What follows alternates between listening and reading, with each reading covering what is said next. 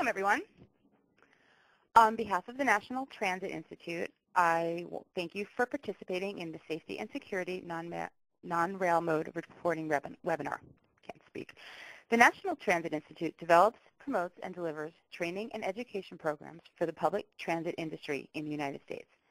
We are pleased to have Anne Singleton, Tim Edwards, and James Overbeek as our presenters today. Anne Singleton is a Senior Safety and Security Analyst for the NTD program since 2009. Anne has been involved with several FTA initiatives, such as the State Safety Oversight Program, the Commuter Rail Safety Study, and the Transit Bus Safety and Security Program in a variety of roles. Prior to Anne's work with FTA, she was a software instructor and database developer. Tim Edwards is a data analyst for the Safety and Security module of the National Transit Database. He has been with NTD since December 2014. Tim is a graduate of the University of Virginia, where he received a Bachelor's of Science degree in, in Architecture and spent two years as a transit operator for the University Transit Service. James Overbeek is a Safety and Security Analyst for the National Transit Database. He has been with NTD since September 2015. James graduated from Randolph-Macon College with a Bachelor of Arts degree in Business and Economics. Today's webinar consists of Anne, Tim, and James presenting their material, followed by a question and answer session at the end. You can participate in the discussion by using the chat pod that is located in the lower left-hand corner of your screen. I know many of you have found that already.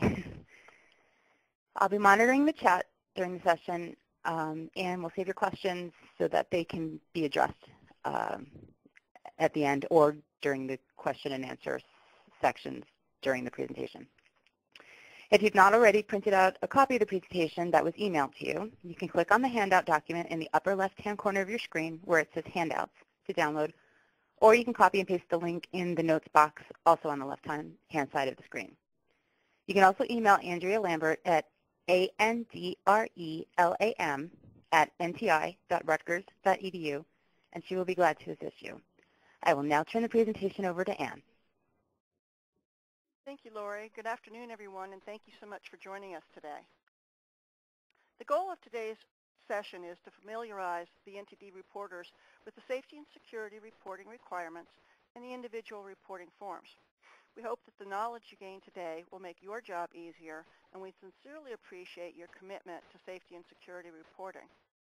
For those of you that report for purchase transportation providers, uh, please share this presentation with them so that they too are aware of what you need to report to NTD. So today we'll show you how to access the NTD system and navigate through the menus and forms.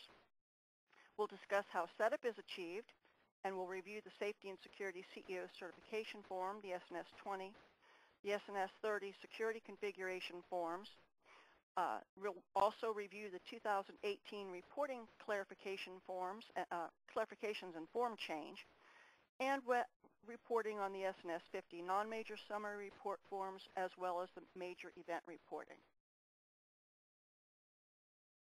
As mentioned, Tim, James, and I are your instructors for today. Joe Eldridge, Project Manager, and Maggie Schilling, NTD Program Manager, will not be joining us for today. Our contact data is provided, so if you'd like to jot that down, please do so.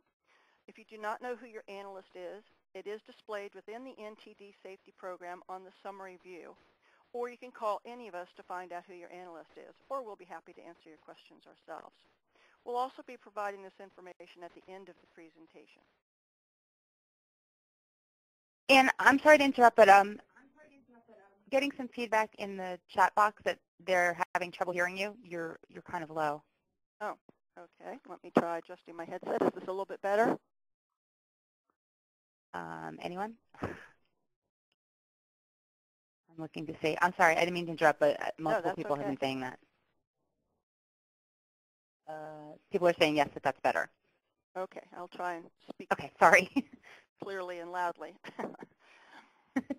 okay. All right, so first we'll have a brief overview of the NTD program, then we'll discuss the website and show you how to navigate the system. In 1974, Congress established the National Transit Database Program as a means to collect information and statistics on transit systems in the United States.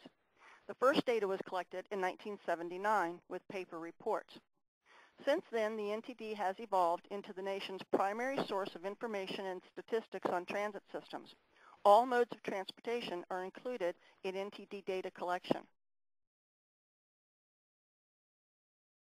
Agencies that are recipients or beneficiaries of urbanized area program, funds, uh, 5307 and 5311, are required to report data with some exceptions. Both public and private providers are encouraged to voluntarily report as this will increase the federal allocation to that UZA. All reporters designated as full reporters are required to report monthly safety and security data meeting event thresholds. Agencies designated as small systems or rural and tribal reporters report safety and security data on an annual basis. Agencies who have requested a reporting waiver due to a significant natural disaster are not required to report during the period of the waiver. The data reported to NTD is used to provide industry performance reports to Congress and other federal agencies and departments and is used to factor federal funding allocations for the UZAs, which was over 8 billion last year. The NTD data is also used to direct, support, and improve other FTA program initiatives, such as the State Safety Oversight Program. The data is also used to generate analyses of trends in transit safety and security. Safety and security data is published on a monthly basis and viewed by federal agencies, state agencies, transit systems, media, or any other interested party. Published data can be found on the NTD website under the NTD data link. There are two products there for safety and security. One is called the Safety and Security Time Series data, and the other one is the Safety and Security Major Only Time Series. Your username is your email address in lowercase in the system. There are six access levels for reporting NTD data. The agency's user manager establishes a person's role in the system. The user manager is also the point of contact if you need to have your user role changed to get a different access level in the system. The CEO, CEO designate, and NTD contacts have the highest level of access and full functionality to include NTD annual forms, monthly ridership, and safety and security data. The main difference between the CEO and the NTD contacts uh, is that they can submit agency certification forms on an annual basis. NTD editors, shown in the system just as editor, are the next level. They can edit annual forms and can submit monthly ridership and safety and security forms. The safety contact can create, edit, delete, save, and submit safety, safety and security forms. Safety editors, however, can create, edit, and save, but they cannot submit data and they cannot delete reports. And then safety viewers are the lowest access. Safety viewers can only view data. None of the safety contacts can change annual or ridership data. A person must be uniquely identified in the system in only one role. The designated contacts are responsible for reporting data accurately and responding to questions submitted about submitted data. The designated safety and NTD contact will receive the automated late notices and monthly reminders that go out around the 20th of the month. The persons whose email address is displayed under last modified user on the reports will receive reports or forms that are returned for questions or changes. Users can change their passwords as often as they like, but the system requires a new password every 60 days. Passwords must be at least 12 to 20 characters and comprised of at least one uppercase letter, one lowercase letter, one number, and or a special character, any three out of those four. If a user has not been used for, if a user ID has not been used for 60 days, the system will lock that user ID. If you get locked out, you can click on the Reset Password link located beneath where you enter in your login. If you forget your password and you're not locked out, you'll see a Forget Password link rather than the Reset Password link. And please note when you request that password reset or, pass, uh, or, or the forgot password, uh, you'll be sent an email within a few moments, and that email is only good for 15 minutes. So if you're resetting your password, you want to be ready and, and be looking for that email. On March 18, 2016, FTA launched a new website which contains the link to the NTD data. This is a snapshot of the NTD page on the FTA website. Please notice the link to the NTD reporting tool on the right. Also, on the left-hand side, you'll notice several links which are going which we're going to review on the next presentation, next slide, excuse me. The NTD home page contains a variety of links and resources. The About NTD section contains an overview of the NTD program, contact information, and help desk contact information. The NTD data section provides access to historical and current annual data, monthly ridership data, and safety and security time series files, as we just mentioned. These time series files, again, hold statistical information uh, on the safety and security aspects of reporting. Under reference materials, you'll find the NTD glossary, the policy manuals, internet reporting guide, quick reference guides, also information on training and conferences, presentations, webinars, and an explanation of all the forms used in NTD reporting. When you click on the Report Tool link, the first screen that appears is depicted here on the left-hand side. Once you click on Agree to the disclaimer, the boxes for you to enter your username and password are presented. If your username is a business email, your, excuse me, your username is your business, business email address, and again, you'll see that reset password or forgot password link right beneath there. Once you complete the login, this is a snapshot of the first screen you will see you will notice there are menu options in the blue bar across the top. the default screen you just saw was the News menu option. Here you'll find a variety of announcements and items of interest. The next menu option is the Tasks menu, which shows you how many tasks are in your queue.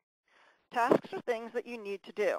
For example, one of the tasks you may have is to manage and deem pending any pending or incomplete safety and security reports. This is when you leave a report without saving. You just close it. Talk more about that later. The records menu is where you'll go most of the time. This is where you'll go to select the safety and security reporting package.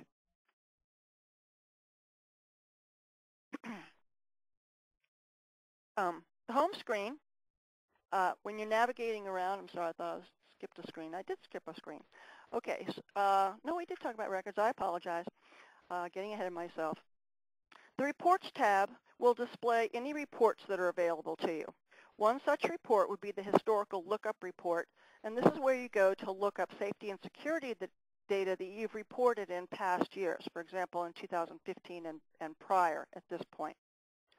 In 2017, excuse me, in 2018, we in 2017, we launched a new report called the Rate Compared to Industry Rate Report. And this report is used to compare your agency's incident, injury, and fatality rates against the industry average. And finally, the action menu item is used to address, to uh, add new users in addition to other user actions that can perform there. So that concludes the menu options. As I mentioned, the Records tab is where safety and security reporters will go most of the time. To report safety and security data, you would click on the NTD Safety Package link.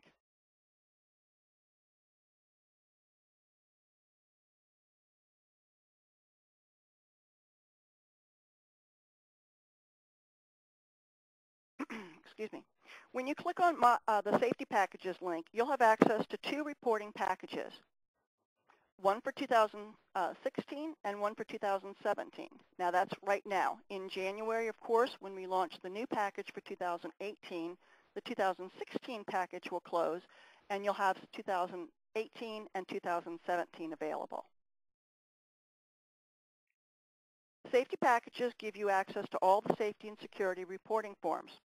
The SNS 20 CEO certification form, which we're going to go into in more detail later. Each of these we will. Um, the SNS 30 security configuration form to report the number and type of personnel. Your SNS 40 major event forms for detailed information on collisions and that type of event. And then your non-major monthly summary report for reporting single injury safety events and non-major fires. Safety and security analysts review each report submitted for accuracy. The analyst will contact the NTD reporter by a phone, via phone or by email for questions, for late or incomplete reports, as well as for outstanding event notifications that we may have. The various forms and reports have deadlines. The SNS 50 forms are due on the last day of each month for the previous month's data, except for commuter rail mode. For example, the October report is due by November 30th. The NTD system sends automated late remi uh, email reminders on the 20th of each month. I'm sorry, not late notices, the automated uh, email reminders on the 20th of each month. This is not a late notice. This is just a reminder to report your data. The NTD system does also send out late notices on the 1st and the 5th of each month. Please note that a report that has been created and saved but not submitted is considered late. When late notices are sent, it's quite common for analysts to receive phone calls from reporters saying that they know that they finished their report. And that's often true. However, if you did not click on the submit, you do not see a submit date in the submit column, then the system is going to generate the late notice. So if you get the late notice, please do go in and check to be sure that your report is complete and has a submit date. On the 15th of the month, if the data is still outstanding, FTA initiates delinquent reporter process and adds the agency to the FTA's failure to report list. At this point, the safety and security analyst will contact you to determine if there are extenuating circumstances why the report cannot be submitted. Excuse me. Failure to report required data can have severe consequences. A failure to excuse me. A failure to report can be submitted by an analyst to FTA if an agency does not submit their SNS 50s and the yearly the year-end CEO certification um, within 45 days, if it's considered 45 days late. also, delinquent reports uh, are incomplete SNS 40s that do not comply with reporting requirements or failures to respond to analysts' uh, validation inquiries. Okay, so we're going to take a brief moment here and see if you have any questions thus far before we continue on.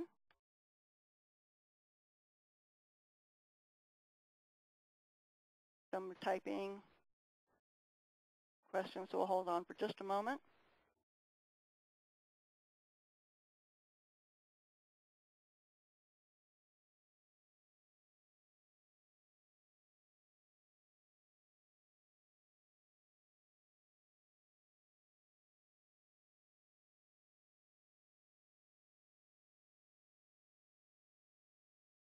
Okay, so someone asked if they're uh, interested in the due date of the SNS 40s. Yes, we are going to cover it, but we can still talk about it right now. SNS 40s are due within 30 days of the date of the event.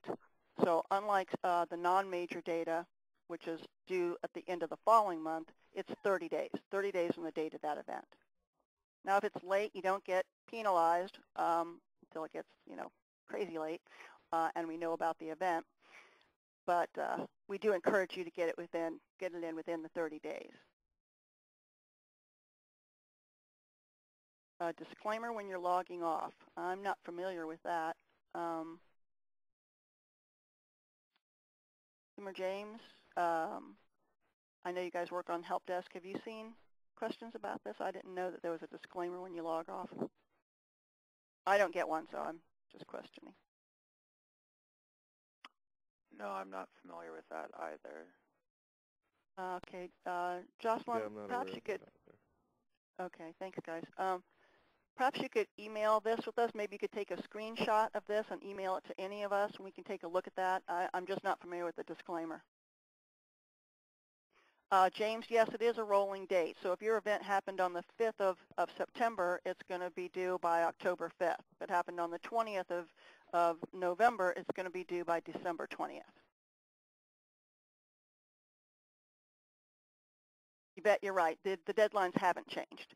Uh, the only things that have changed within the system are the things that we're going to cover on the uh, reporting changes, which is coming up shortly.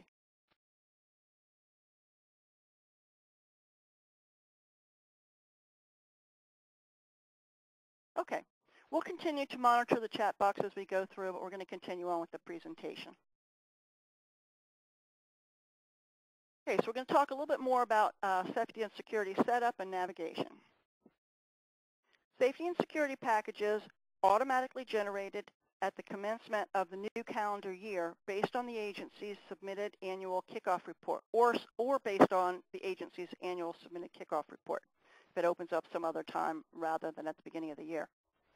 Modes and types of services available in the safety module are determined by the agency's P20 profile form.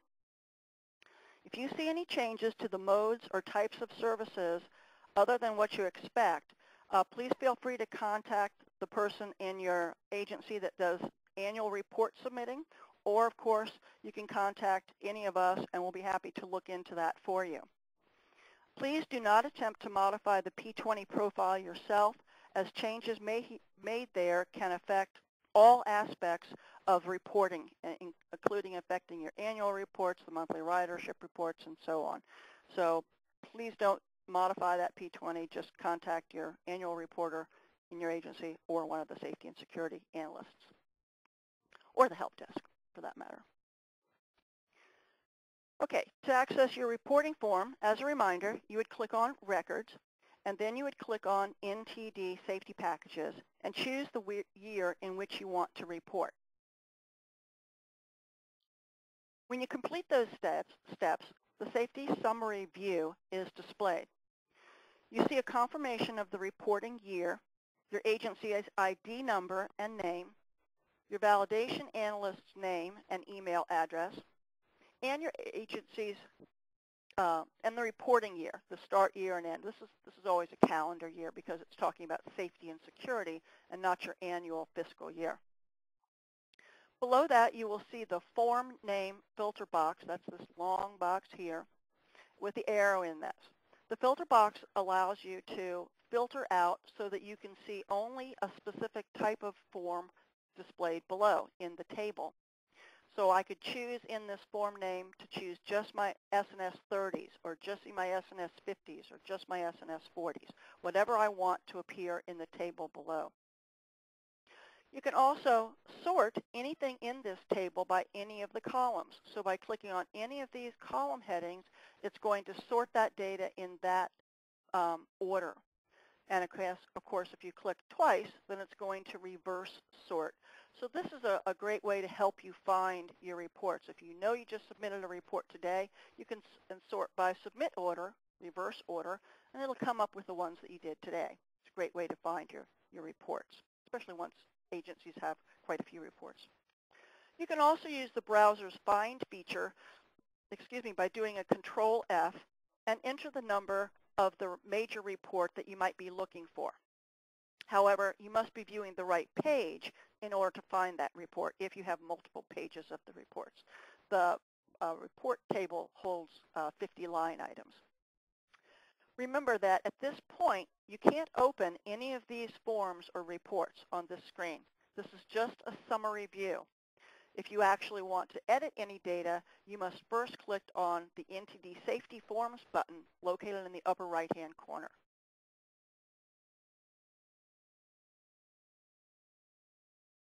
The NTD Safety Forms button is used to access the dashboard where you can create a new report, edit, or review existing reports. You can use the filter box, as I mentioned, on, uh, on the previous screen. The dashboard also has a filter box again, so that you can filter only the types of forms that you want to view. And just like on the summary view, the dashboard also allows you to sort your columns by any column heading that you choose to sort by. Once you find the report that you want to, to review or revise, you click on the checkbox adjacent to that form, and then you go over either to the top or the bottom and click on the View Form button. That opens the existing report. When you're finished with the dashboard, you'll want to remember to click on Close, or the system will create a task for you to close the dashboard. This is a snapshot of the dashboard. It looks similar to the safety summary view, as I mentioned. Um, again, to open a report, you would identify the report here. You'll see these links are in blue. And you can click on that report. There's, there'll be an uh, adjacent uh, um, checkbox there where you can click and then click on your View Form button. And then here you have uh, a new button that your, is your File SNS 40 button. This is where you create new major event reports. Okay, so before we get into the SNS 20s, I'm going to turn this over to James and let you listen to someone else talk for a little while. James? Thanks, Anne. Okay, so the SNS 20 CEO certification form, the CEO or his or her designee uh, to attestation to the accuracy of the major and non-major safety and security data for the previous calendar year. The form becomes available in January and the previous year's safety package when the new year launches. The form automatically calculates data from submitted reports for the year. Un unsubmitted data is not included. The form is due by the end of February of the following year and only a person logged in as the CEO or CEO delegate can submit the form.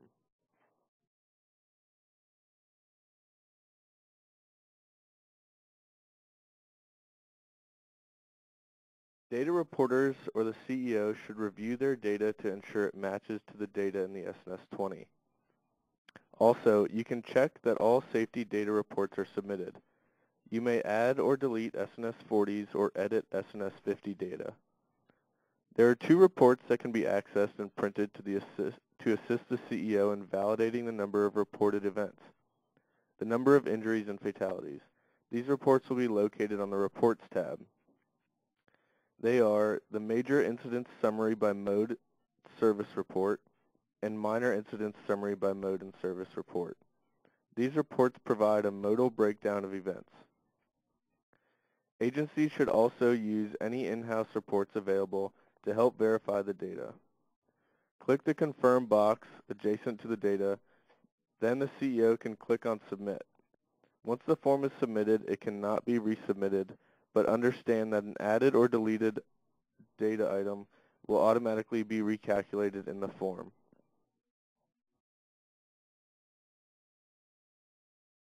This is a snapshot of the SNS 20 CEO certification form. Please note that the CEO name and title show that this is a screenshot of our test, excuse me. Please note that the CEO name and the title in this screenshot uh, is of our test database and does not reflect actual data reported by this agency. Uh, now we'll talk about the SNS 30.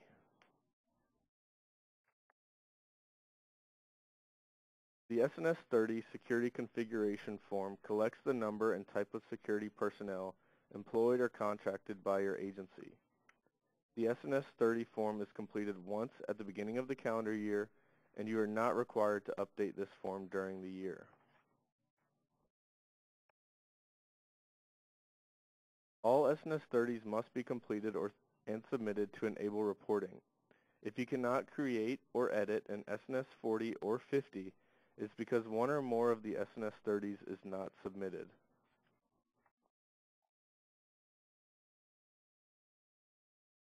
This is a screenshot of the SNS 30 security configuration form. Again, this does not represent actual data for the agency shown. Notice you have a place to enter the primary number of security personnel and the total number of security personnel, which is the primary and secondary added together. Do not leave either of these boxes blank. You'll also see the seven types of security personnel with two columns to identify the type as primary or secondary.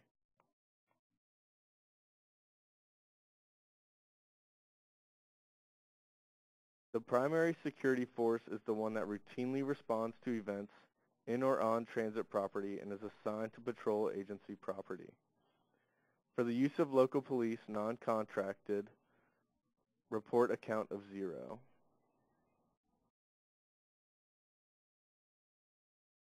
The secondary security force is the one or ones that occasionally respond or respond when primary force requires assistance. Again, for the use of local police non-contracted, use a count of zero.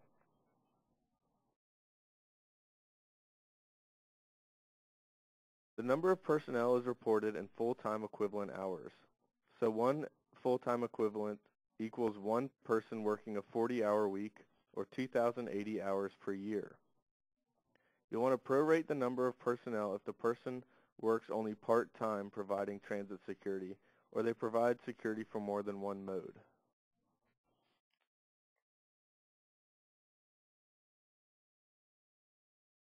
One S&S 30 is completed for each mode. Be careful not to double count personnel. The totaling line 2 from each S&S 30 form should equal the total number of personnel. For example, if an MBPT mode, the total number is 1.5, the LRDO mode, the total number is 3, and for the DRDO mode, the total number is 0.5. This means the total security force for that agency would be 5 full-time equivalency.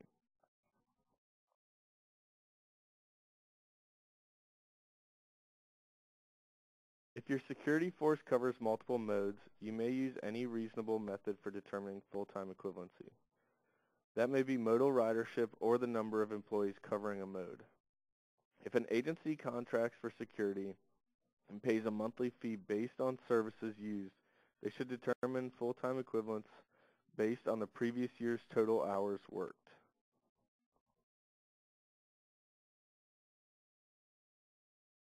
NTD allows for only one primary personnel type. If your agency has more than one type of security personnel it considers its primary, report the security force with the largest number of personnel as the primary and the smaller force as secondary. For further information on the S&S 30, please see the Safety and Security Policy Manual or Safety and Security Internet Reporting Manual on the NTD website or ask your analyst for assistance. This concludes review of the S&S 30 form.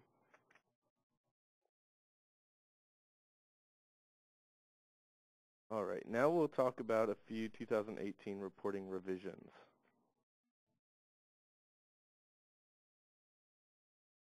The definition of a reportable event has been expanded to include events occurring on transit infrastructure and events that involve transit-related maintenance activities that may not be on transit property.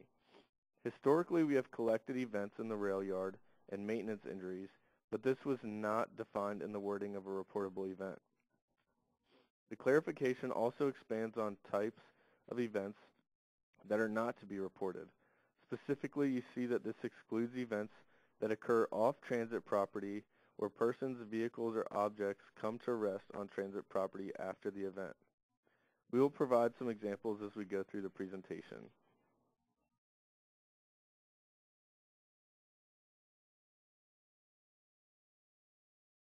The evacuation description has been clarified to ensure that self-evacuations are also to be due are also due to a life safety situation or an evacuation to the right-of-way. This is a low impact change. While previous guidance did not limit self-evacuations to a life safety situation or an evacuation to the right-of-way, we found there was only one instance where this was not the case.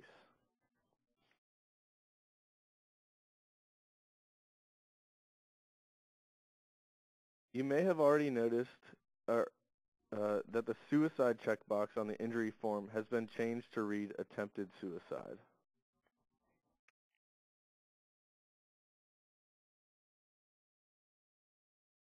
Now we'll look at non-major S&S 50 reporting. The, defini the definition of a reportable event is a safety or security event occurring on transit right-of-way or infrastructure, at a transit revenue facility, at a maintenance facility, during a transit-related maintenance activity or involving a transit revenue vehicle. These safety events must meet the single injury only threshold and are related to falls, electric shock, etc.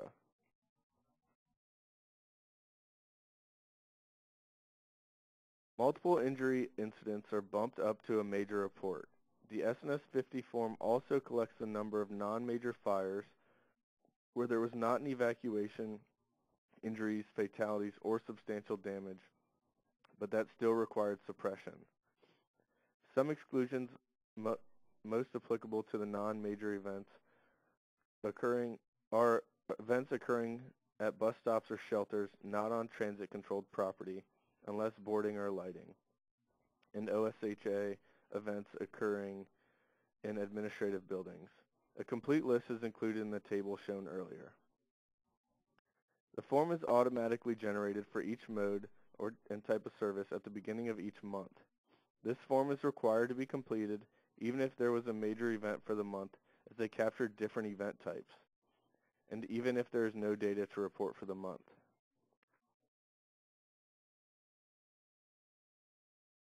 To recap, for submitting other safety events, you are entering the number of occurrences and the matching number of injured parties. Remember that injured means that they were transported away from the scene for med medical attention regardless of whether they appear injured or not. Do not include people who were not transported away from the scene for medical attention. Here are several examples of injuries reported on the S&S 50. The passenger is thrown out of the seat due to a bus maneuver. Improper wheelchair securement and rider is injured. Transit vehicle door closing on an arm, leg, backpacker clothing, and the person is transported. A person walking into the side of a stopped vehicle and is injured. This would be considered a fall.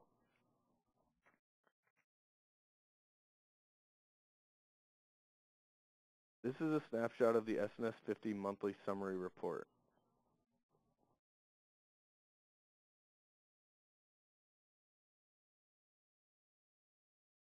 Two of the categories for injuries on the S&S 50 form relate to securement issues.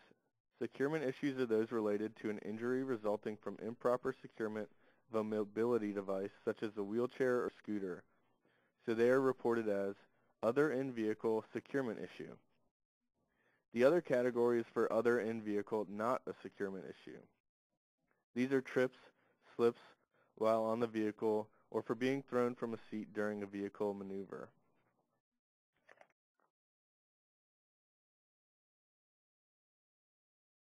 If no events occurred for a mode and month, open the appropriate S&S 50 form and choose the checkbox adjacent to No Data to Report. Then save and submit the report. Remember, do not include injuries due to collisions or any other major event type. Again, reports are due at the end of the following must, month and must be completed and submitted by the due date to avoid an automatic late notice.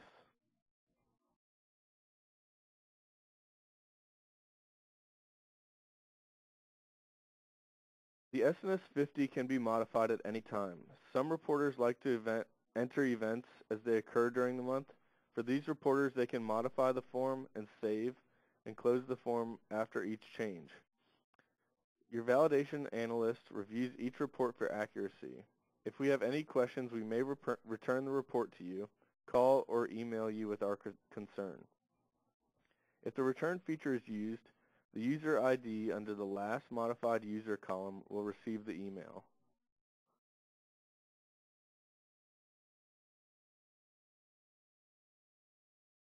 This is a snapshot of the S&S 30 monthly summary report with an analyst comment or question. So not only do you receive an email with the issue, but when you open the report, you will be able to see our question or concern there as well.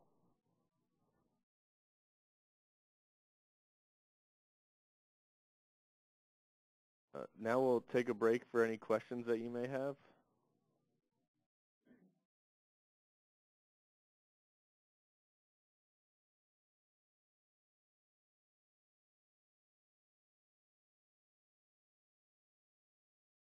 Uh, Zara, that's correct. Uh, any injury uh, is only reported to NTD if they're transported from the scene.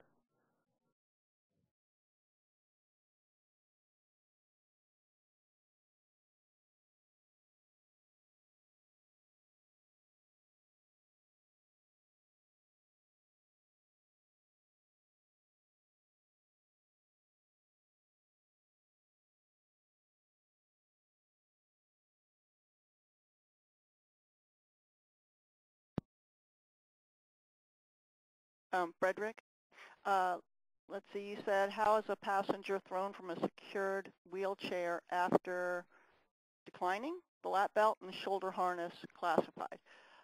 Uh, well, it's still a, it's, um, I think you went over, uh, it's, it's called not, um, it's called a, a securement, uh, not a securement issue, I apologize.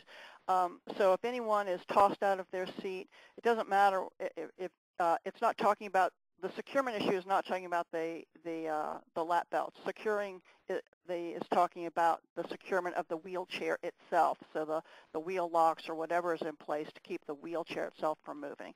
So on your S&S 50, if they're thrown out of that wheelchair, they would report it as not a securement issue. Thank you, Anne.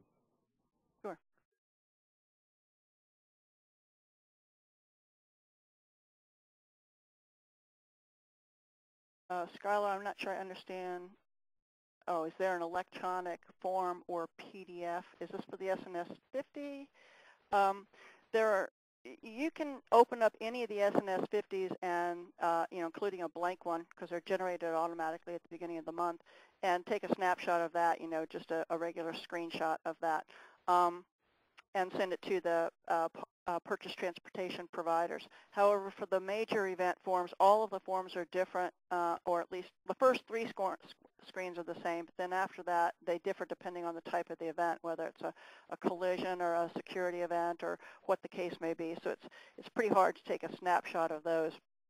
Uh, though you could have, if you did have a completed S&S 50, uh, excuse me, 40, a major event form, you could print that out or PDF it uh, if you wanted to send it to the providers. You can also give them this presentation again because this shows you snapshots of all of the screens um, that we go through in the system.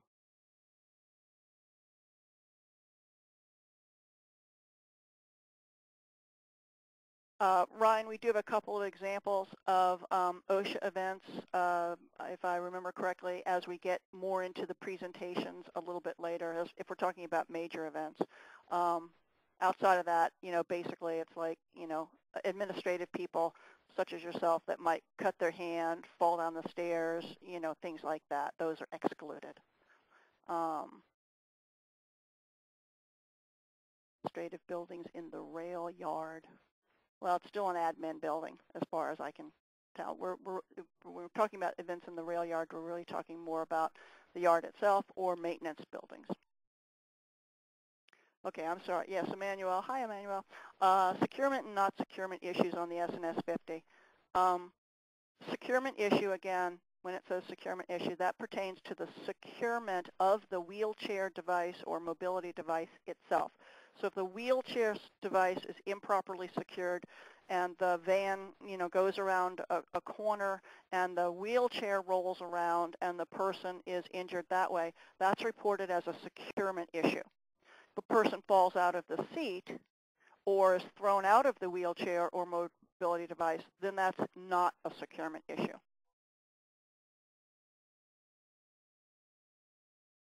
Thank you, Allie. I'm glad you find the quick reference guides helpful. We don't have them here, but if you want a uh, on this, we, we probably should have put them on here so you all could download them. But um, if you need a quick reference guide, which is just a one-page at a glance, here's what's reportable and when, uh, piece of paper basically, just contact any of us after the webinar and we'll be happy to send you those quick reference guides.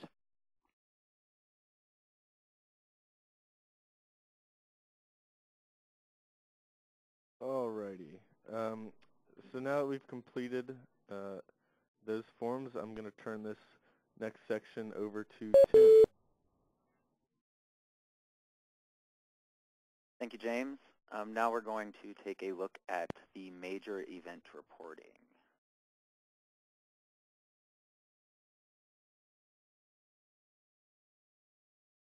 So let's discuss the applicability and reporting thresholds in more detail.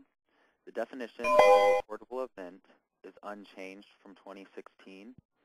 A reportable event is a safety or security event occurring on transit right-of-way or infrastructure, at a transit revenue facility, at a maintenance facility or rail yard, during a transit-related maintenance activity, or involving a transit revenue vehicle. These clarifications are in bold text. Um, the exclusions have also been clarified. Uh, the, the change, um, the main change here is the inclusion of events that occur off transit property where affected persons, vehicles, or objects come to rest on transit property after the event. The remainder of events are, we, the remainder of events we have not collected in recent years, but information came more from guidance rather than the rule.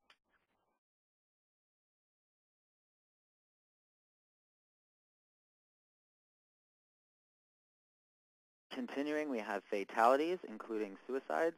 One or more persons immediately transported for medical attention, such as an injury. Um, property damage equal to or exceeding $25,000.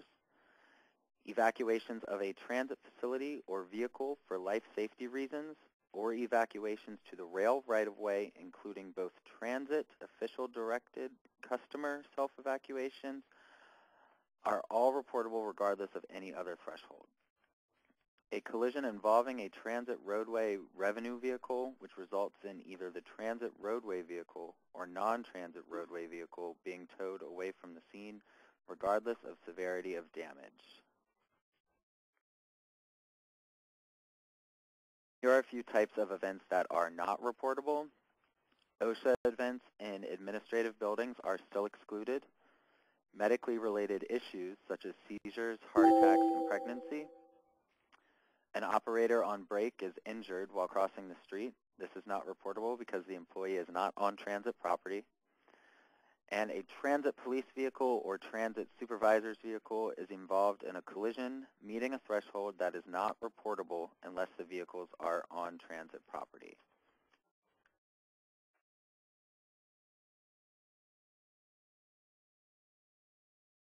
Events at bus stops that are not on transit-owned or controlled property are not reportable unless the event involves a transit vehicle or boarding or lighting a vehicle.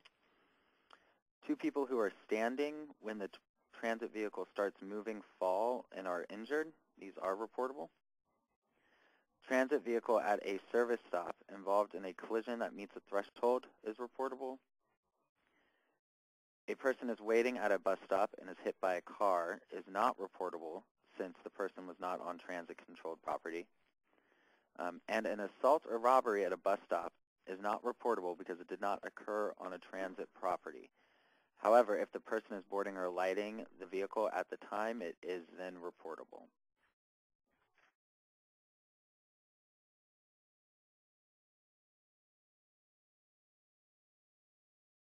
So part of the event definition stated involving a transit revenue vehicle.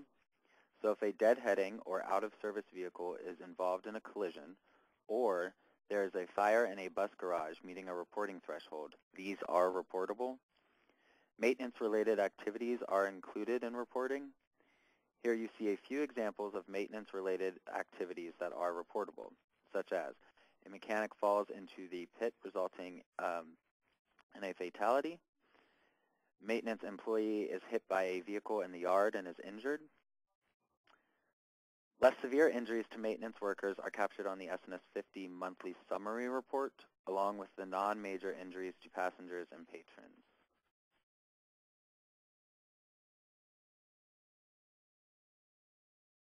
NTD also collects non-transit collision incidents, such as an accident in tr a transit parking lot that meets a threshold, few examples are a private vehicle collides with a pedestrian or vehicle requiring immediate transport for medical treatment, or a private vehicle collides with transit property, such as a station or pantograph tower, resulting in total damage of $25,000 or more, or any other threshold. These would both be reportable.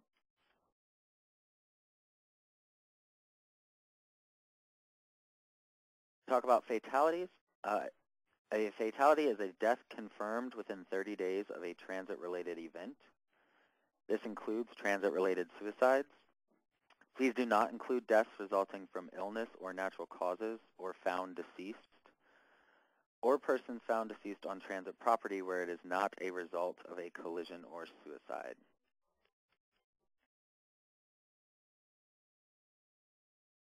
For injuries, an injured person is a person transported immediately away from the scene for medical attention. This includes transport by ambulance or transport by private vehicle. However, a person walking away from the scene for medical attention is not considered injured. The general rule of thumb that we have is if a person is transported, they are reported. Um, please note that the injury thresholds are different between rail and non-rail modes. For information on rail modes, please attend the training webinar um, and consult the policy manual or other guidance. Uh, that training webinar will be this Thursday.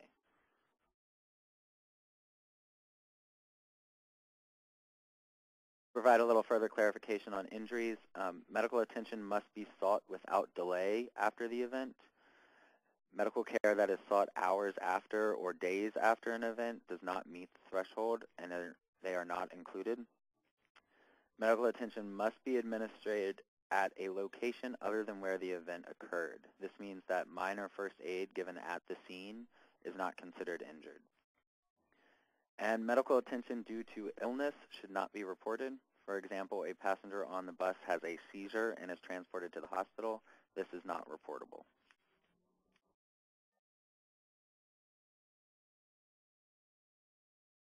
All right, the property damage threshold. Events with total, actual, or estimated property damage equal to or exceeding $25,000 are reportable. Property damage includes transit vehicle and non-transit vehicle damage, damage to transit stations, bus stop signs, and shelters, if applicable, and the cost of non-transit property, uh, private property such as buildings and fences, is included, and also the cost of clearing wreckage is included.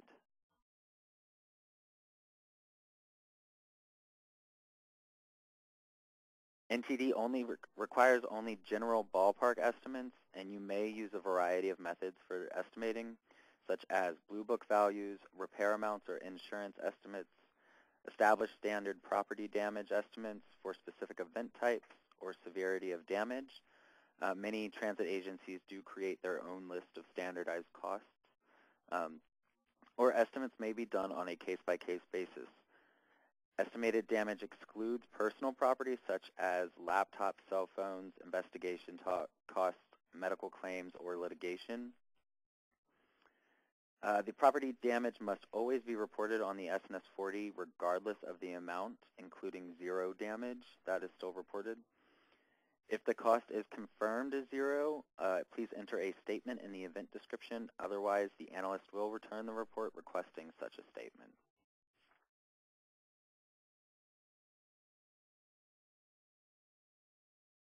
If there is a collision involving a transit roadway revenue vehicle which results in either the transit vehicle or a non-transit roadway vehicle being towed, the event is automatically reportable regardless of any other threshold.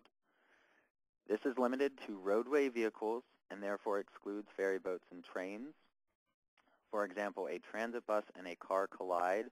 There are no injuries or fatalities, and the property damage is only $1,000 but the car is towed from the scene, so now the event is reportable. The towaway is not based on the severity of damage, so if a roadway vehicle is towed, it is reportable regardless of how severe the damage on the vehicle towed is.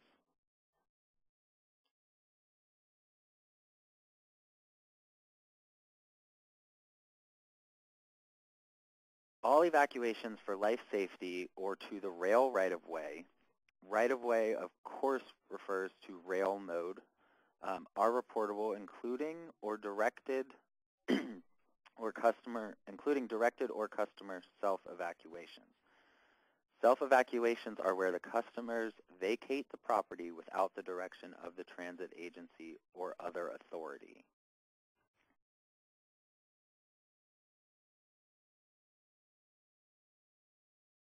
Some examples of life safety reasons are suspicious packages, bomb threats, smoke event, fire, fuel flame, fuel fumes, nauseous odors, or a person with a weapon on a transit vehicle.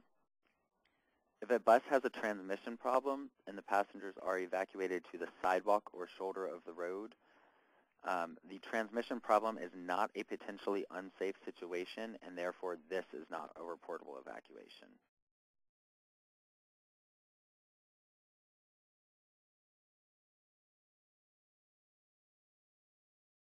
Okay, to create a major event report, you'll log into NTD 2.0 and select the Records menu option. Then you will choose My NTD Safety Packages link and choose the year you want to report in. From there, you will click on the NTD Safety Forms button located in the upper right corner to access the dashboard. To add a new report, just click on the File New S&S 40 button.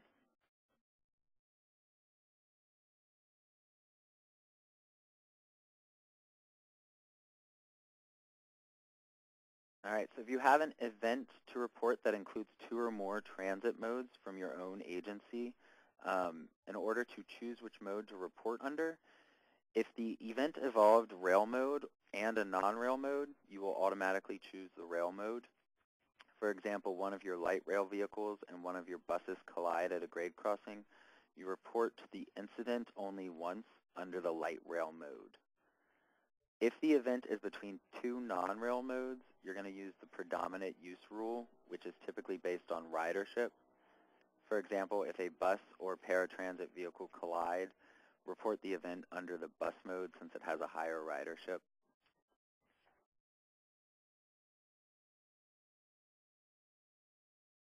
The first two screens will act as a wizard to help determine if the event meets reportable thresholds. Screen 1 captures the date of the event, the mode and the type of service, and it captures the event type.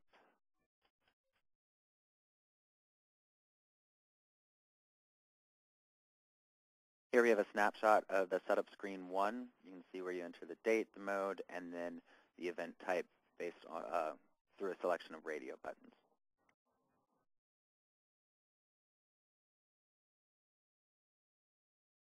The setup screen one event types, the first and most common is a collision. This includes suicides or attempted suicides where there is vehicle impact. For an event to be considered a fire, there must be flame suppression. Non-fire smoke events or the smell of something burning, which meet another threshold, are reported as other safety events.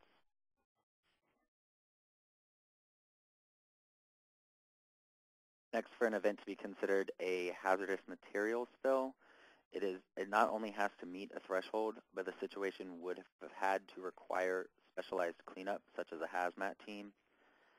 Acts of God refer to acts of nature, such as hurricanes, flood, tornado, snow, and ice storms. Also other natural events such as lightning.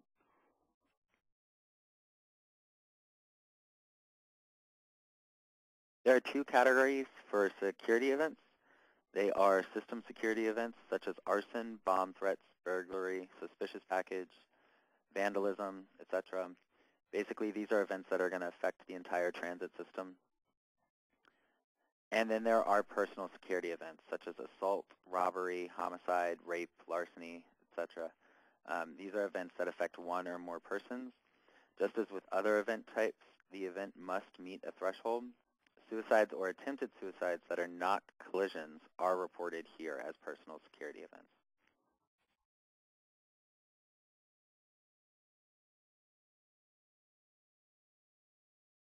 Finally, the last event type, we event type we have is other safety events.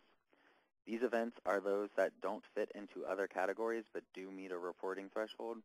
This might be an evacuation due to smoke or a fall resulting in a fatality.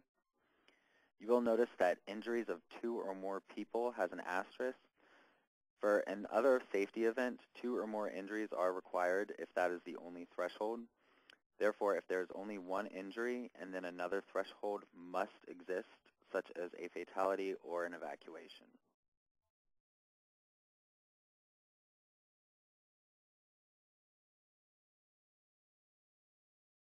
Second setup screen asks you a series of questions, some of which are based on the mode and or the type of service you are reporting.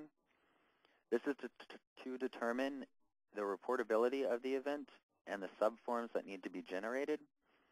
This is only a list, then we will cover each more in detail.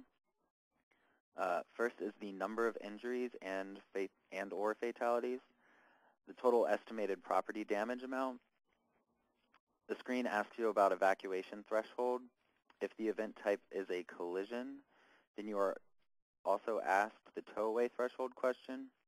You will also be asked if a transit vehicle was involved, which determines if the transit, if this is a transit or non-transit collision.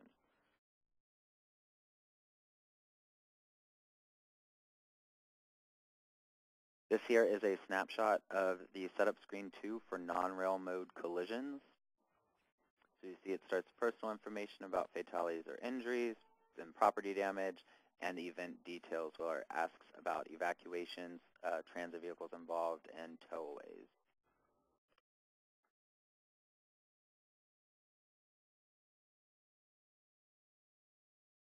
As I mentioned, if you choose collision on screen 1, then screen 2 captures if there were transit vehicles involved in the event.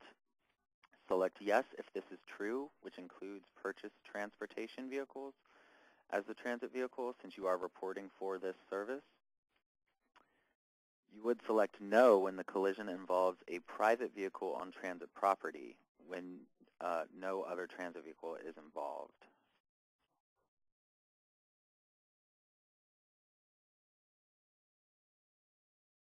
Based on the selection you have made and the questions you have answered, the system will respond accordingly.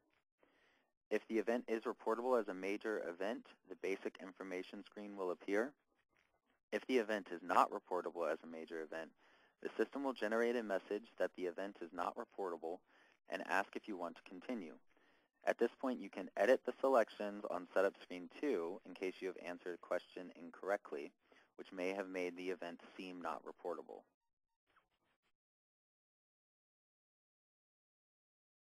If the event meets the criteria for a major event, the basic information screen will appear next. The basic information screen displays the date you already selected. When entering the time, be sure to use AM or PM designations, even if you use military or 24-hour clock format.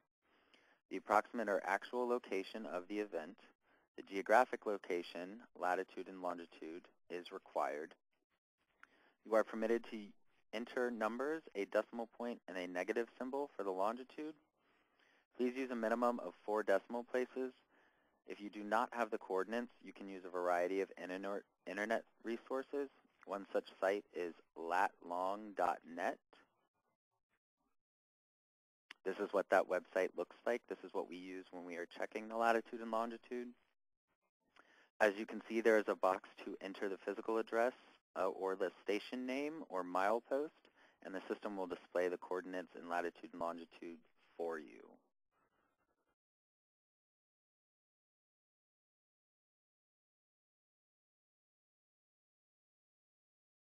Basic information screen also captures the event description. The description should be concise but descriptive so that the analyst can understand what occurred, how it occurred, and should include the number and type of injuries or any fatalities, but please do not include personal data such as names and license numbers. Also, please refrain from using codes such as IV to refer to a vehicle or form including the transit vehicle uh, as vehicle 1 or vehicle 2. The analyst has to determine who hit whom and how, and not everyone refers to vehicle 1 as the transit vehicle. Notice this description clearly identifies the transit vehicle. If you want to take a look at that description, uh, that description example that's posted. Um, the description box can hold 2,000 characters. If you exceed the 2,000 character limit, when you click on next, a message will pop up that it says you have exceeded the limit and you will not be able to continue to the next screen until you reduce the number of characters. Here we have provided uh, an example of a comprehensive narrative that is under 2,000 characters.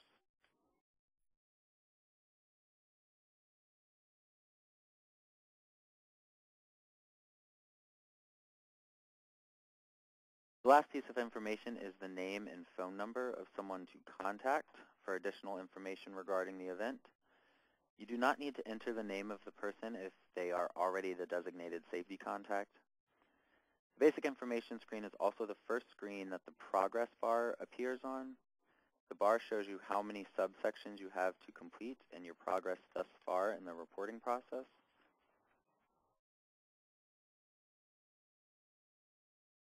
So there is the basic information screen for you, and you can see the start of the progress bar at the top where it's filled blue all the way up through basic information.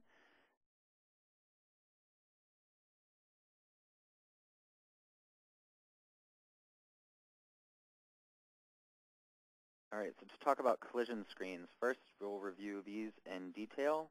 Um, collision screens will vary slightly depending on the mode.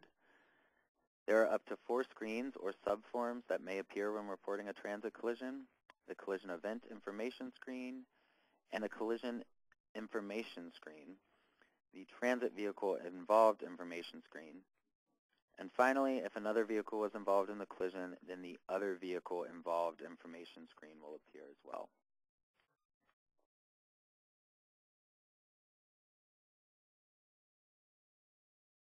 Here we have a snapshot of the collision event screen for non-rail modes. See, it starts with the number of non-rail transit vehicles involved, followed by the location, which you will select via radio button, um, and then the collision width and the number of other vehicles involved. As always, please use other sparingly on these uh, radio buttons as we do not get actual data from them, so use them only if there is no possible selection um, available other than other, and then please be informative in the please describe box when using other.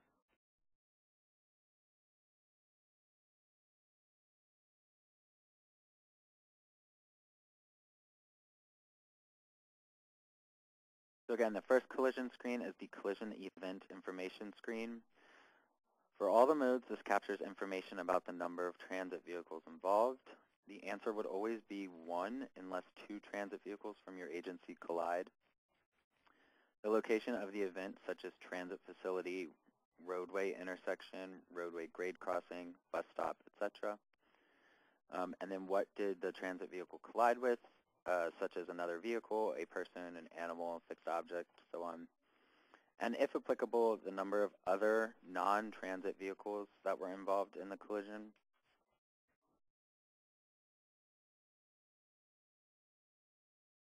There are a few things to keep in mind when reporting collision information.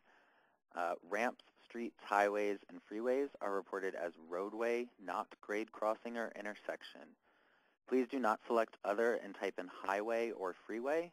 Other is used for um, less specific things such as private property or a parking lot.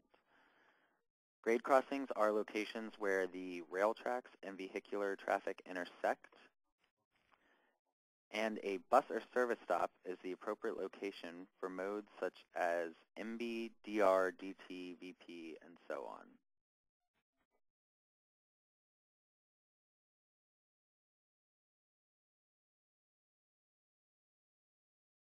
Parking lot entrances, exits, and driveways are not reported as intersections.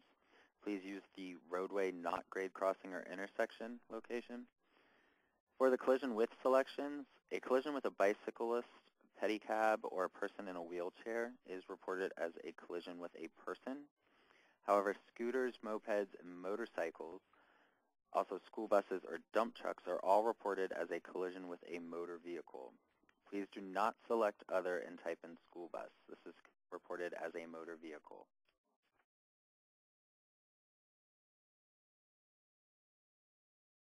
Collision with a transit vehicle is used when two transit vehicles from your agency collide. If you collide with a transit vehicle from another agency, it is reported as a collision with a motor vehicle. In a multiple impact collision scenario, Please report the collision with as the first object impacted. For example, a bus collides with a car and then the car hits a building. The collision with selection would be motor vehicle, and you would include the damages to the building and that and the vehicle that was struck in the event description.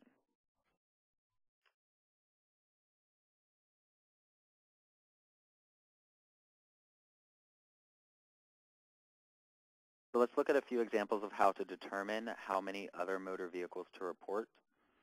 If car 1 cuts off a bus but no contact is made, and the bus goes on to hit car 2, the number of other vehicles to report is 1 because only car 2 had contact.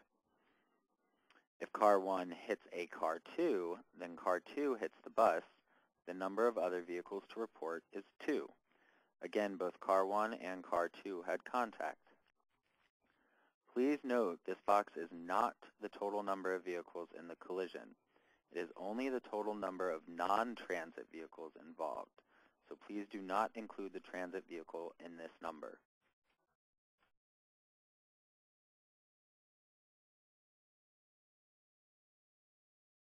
As with other events, a non-transit collision must meet a reportable threshold. Here are a few examples. A privately owned vehicle collides with pedestrian or private vehicle in a transit parking lot. A privately owned vehicle collides with an object, such as a utility pole, in a transit parking lot. Or a privately owned vehicle collides with the transit center itself.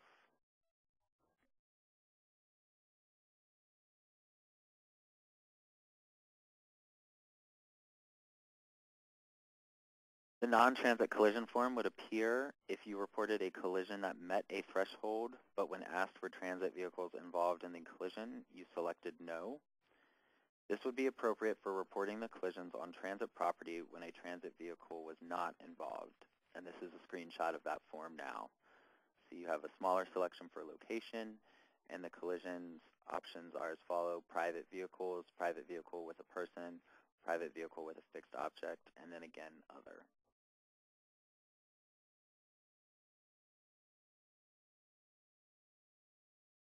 After the collision event information screen, the collision information screen will appear. This is a snapshot of the first part of the collision information screen. So it starts out with the weather, the lighting conditions, the roadway information.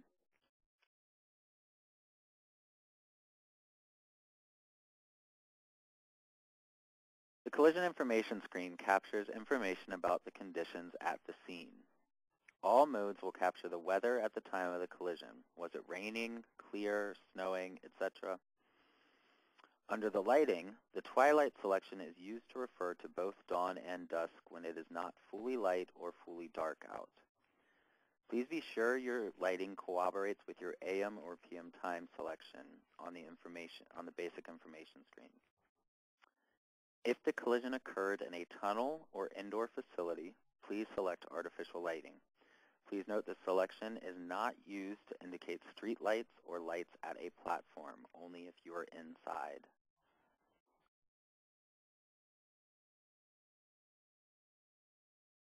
Here are some considerations when reporting the roadway configuration. You would select limited access highway to report an incident, an incident on the freeway. A limited access highway has access, access limited in some way. For example, it may not allow pedestrians or bicycles. Please be sure that the selection is consistent with the location chosen on the collision event information screen. So if you reported roadway intersection on the event information screen, be sure to select intersection or grade crossing on the roadway configuration.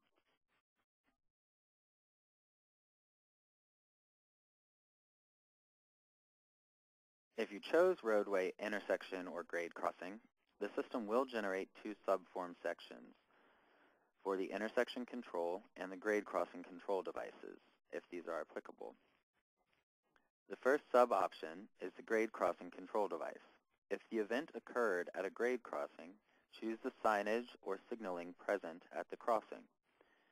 There is an option for no control device if there is no device or sign choose not applicable only if the event did not occur at a grade crossing.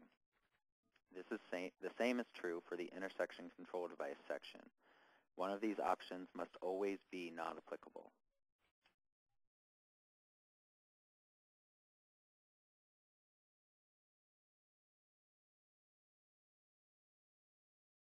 The location you select on the collision, collision event information screen must be corroborated on the roadway configuration selection on the collision information form.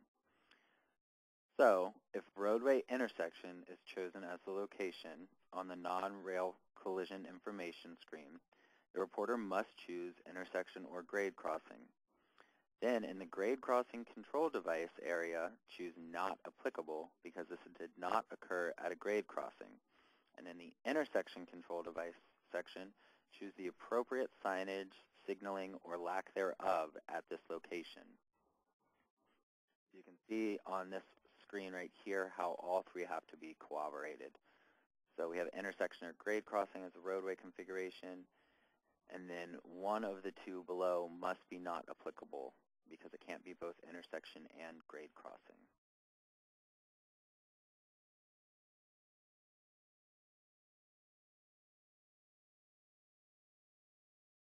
At this point, we have completed the collision event information screen.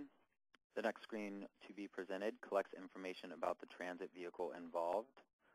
One screen will appear for each transit vehicle involved, so if two buses from the same transit agency collided, you would complete one transit vehicle information form for each bus. The form includes an identifier count and buttons for increasing or decreasing the number of vehicles.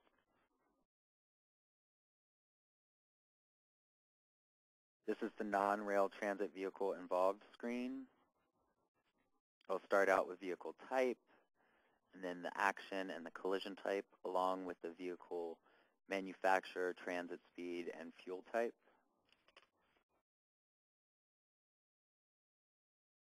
As mentioned, the form captures the vehicle type, the vehicle action at the time of the collision, was it stopped, turning, uh, etc. This is captured for all modes. And the collision type um, is also captured for all modes. This is the part of the transit vehicle that was hit and is reported from the viewpoint of the transit vehicle. Again, first impact is what we're looking for here.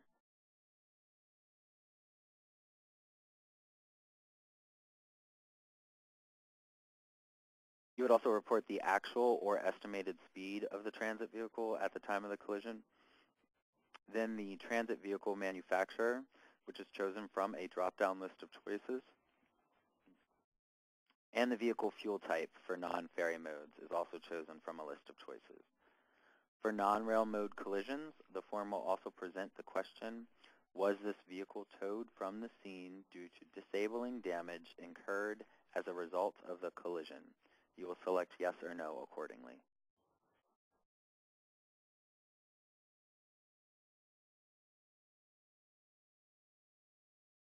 So let's explore some of the transit vehicle action options.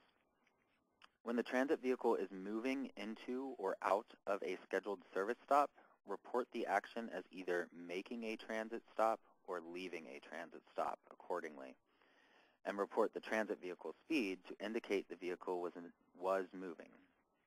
Do not choose this option if the vehicle was standing still.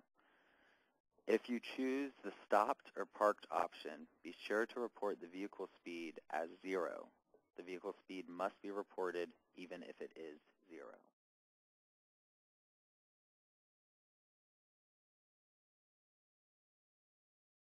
This diagram here shows the most of uh, the most common impact points, which are reported from the point of the view, the point of view of the transit vehicle. So we can look at the options in more detail.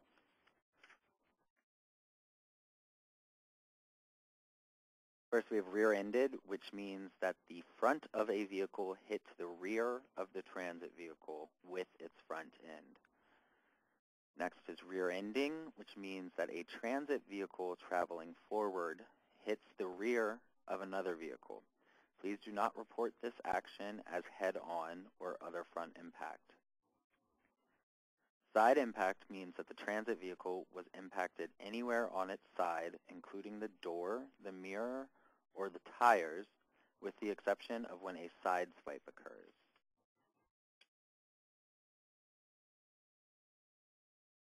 Other front impact is used when the front of the transit vehicle is impacted, but not when it would be considered a head-on or rear-ending.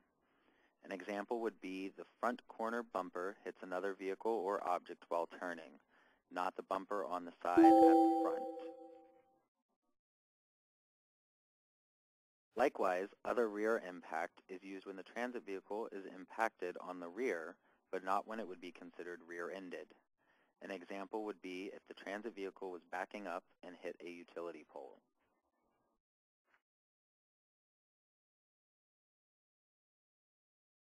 Sideswipe is used when two vehicles are parallel to each other, going in the same or opposite directions, and bump and scrape along the sides of each other. Both vehicles would have to be reported as sideswipe. Please note that sideswipe cannot be the action chosen when you are reporting a collision with a person. Instead, use side impact.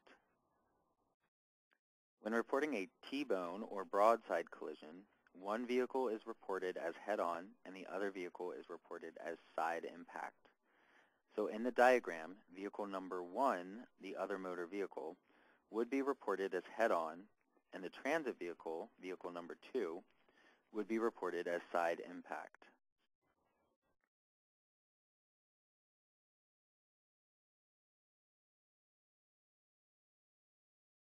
Multiple vehicle accidents or chain reaction accidents can be a challenge to report, so remember to consider the first impact or collision type in your analysis. In this diagram, vehicle 1 would be reported as rear-ending. It's doing the hitting, which means that vehicle 2 was rear-ended, which then caused vehicle 2 to be pushed into vehicle 3, the transit vehicle, which would also be reported as rear-ended.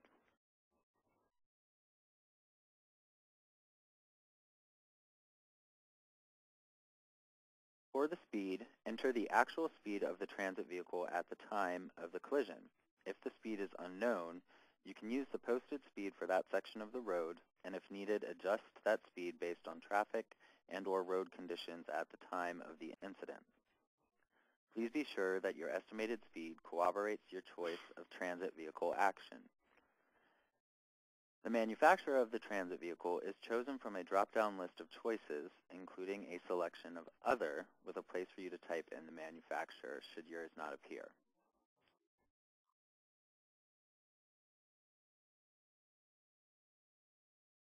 You will also select the transit vehicle fuel type from a drop-down list. The form will also present the question, was the vehicle towed from the scene due to disabling damage incurred as a result of the collision? Answer yes or no accordingly.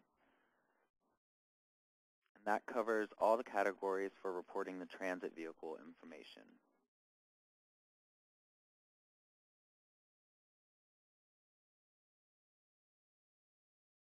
Now, if you indicated on the collision event screen that another vehicle was involved, the other vehicle information screen will appear. This screen gathers information about non-transit vehicle or vehicles involved in the collision. If more than one vehicle is involved, you will need to complete one other vehicle involved information form for each motor vehicle that was involved. So for example, a transit vehicle causes a multi-car collision with two autos. Two other vehicle involved screens would be, will be generated and must be completed.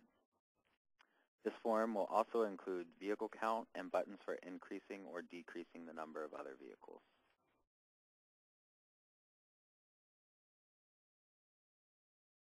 Here we have a screenshot of the other vehicle involved screen for non-rail collision reporting. It's very similar to the transit vehicle involved screen.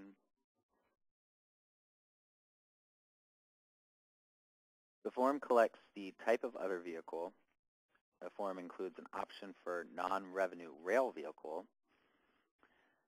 Um, the automobile option would be used for both cars and passenger vans, like a Dodge Caravan, for example. And the action or physical movement of the other vehicle at the time of the collision is also collected on this form.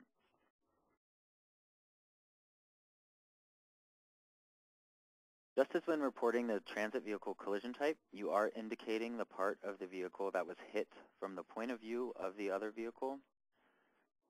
This concludes the collision information screen.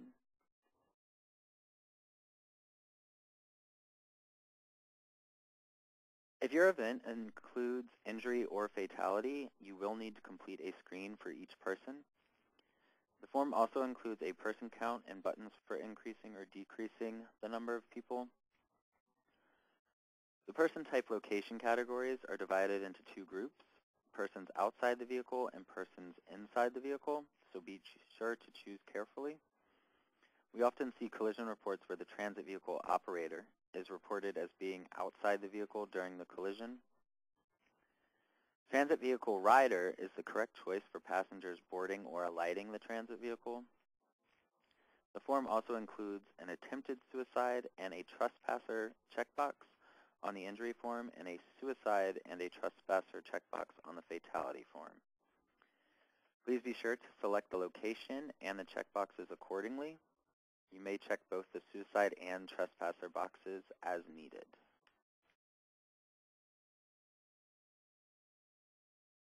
This is a snapshot of the fatality form.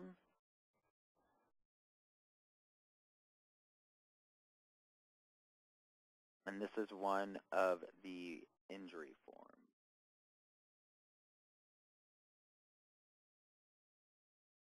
If the suicide or attempted suicide involved collision with a transit vehicle, the event is reported as a collision with a person. However, if the suicide or attempted suicide did not involve contact with a transit vehicle, then it is reported, uh, reported under the other personal security event type. When you are reporting these events on the injury or fatality form, you will need to check the suicide box or attempted suicide box. If this is checked, um, then we will know that whether it was reported as a collision or other personal security event, that it was a, a suicide or attempted suicide. Um, you may also select the trespasser in addition to the suicide or attempted suicide uh, box if that is applicable as well.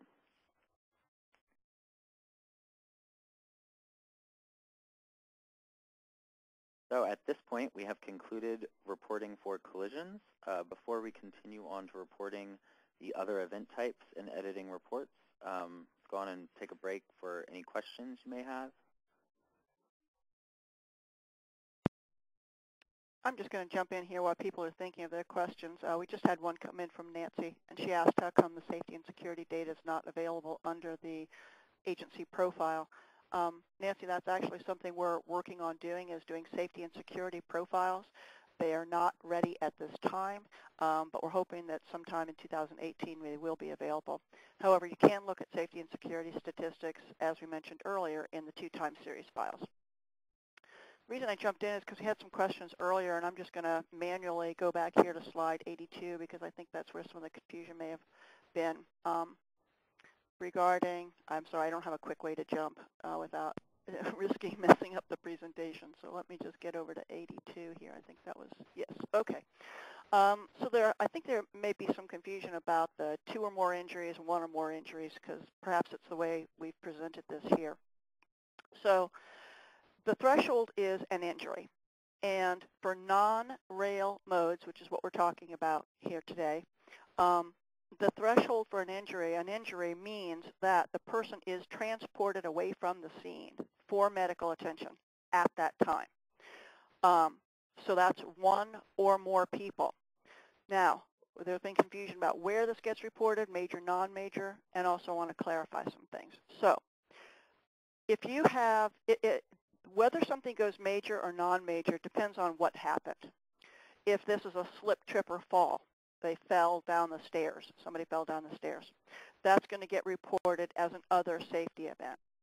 If a person's on the transit vehicle and the transit vehicle stops short but does not collide anything, that goes on the non-major form, the S&S 50 form, because it's one injury. What this slide is trying to present here is that if that same uh, uh, hard brake resulted in two people falling out of their chairs, and again, no collision. It's just a hard brake, and two or more people uh, um, fall out of their seats or are thrown out of their seats, as it were, then this bumps that slip, trip, and fall up to a major event. Okay, so that's why this is asterisk this way. So yes, an injury, one injury is a threshold if it's for a major event, if it's a collision, a fire, a derailment, an act of God, a security event, um, either personal or system safety. excuse me, it's only in the case of other safety events where it has to be two or more injured people for it to become an S&S 50. Those single, excuse me, 40, I apologize, S&S 40, your major event. A single injury only goes on the S&S 50 non-major monthly summary report. So hopefully that clears that up. And if it, it doesn't, we will have another question session at the end, um, and you can chat. Or uh, feel free to call any of us just to clarify any points uh, that may be um, unclear as we go through the presentation. Um, and also somebody named Guest in here, I'm just going to pull back up to her, uh, said something about if you collide with a transit vehicle from another agency. I'm not sure um, if there was a question there, but just in case, I'll try and answer. Um, yes, if you collide, if your bus collides with another agency's bus because they're both running around in the city, then and the, and it, the incident me, re, meets the reporting threshold, as we've discussed, then yes, that's reportable. And then under your collision with box, um, you actually choose other vehicle. Um, it's not considered a transit vehicle. It, I understand that it is a transit vehicle, but transit vehicle is used, the transit vehicle option under collision with is used for reporting your agency reporting collision, colliding excuse me, with one of your own agency's vehicle. So a demand response vehicle and one of your buses collide, or two of your buses collide, that type of event. Okay, so hopefully that helped clear things up a little bit.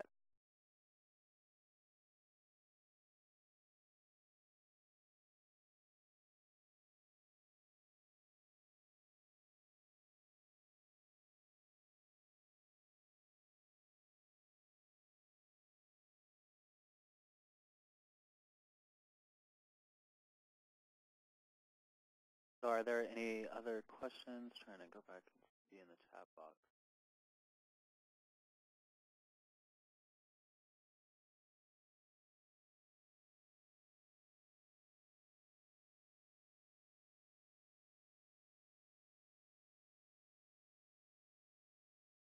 I have a question about a fire. In the event that the operator assumes there's a fire and either manually activates fire suppression system or uses portable fire extinguisher, but maintenance states that no fire occurred, is it still reportable?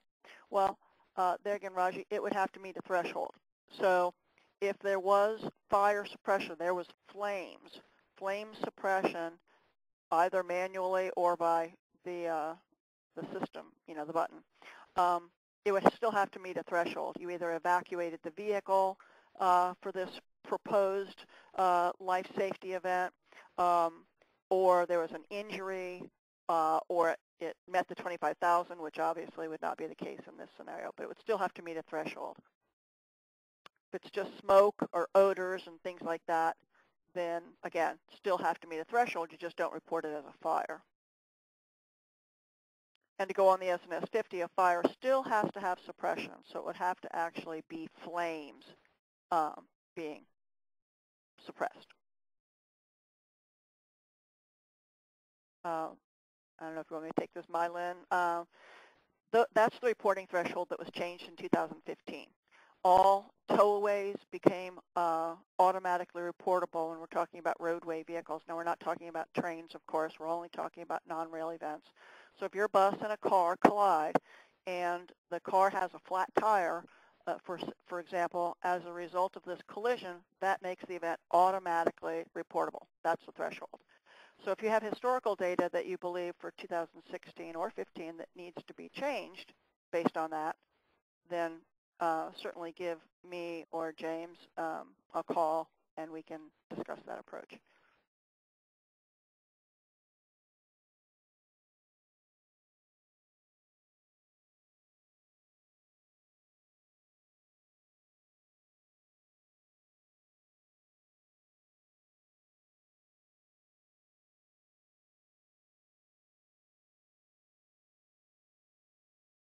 I see a couple another- more questions are Yeah. coming Yeah. in. We'll take one or two more before we hand it over to James.